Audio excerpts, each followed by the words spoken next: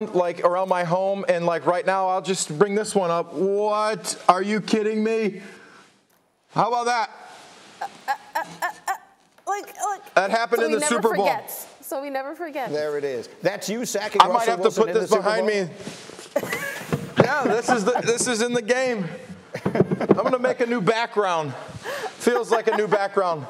This was a key moment in the game. It was like third and seven in the third quarter. We were down 10, so we had to get a stop, and we got one. It wasn't all real- on me though. We called.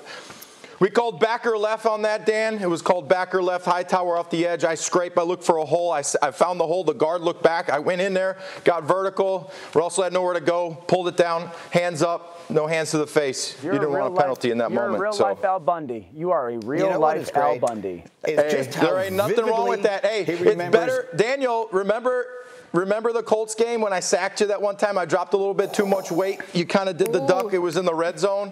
we can br- bring that up too. but Remember when Jay. I threw for 360 yards against you guys? This is we taking still won though. Thanks for watching E ESPN on YouTube. For live streaming sports and premium content, subscribe to ESPN Plus.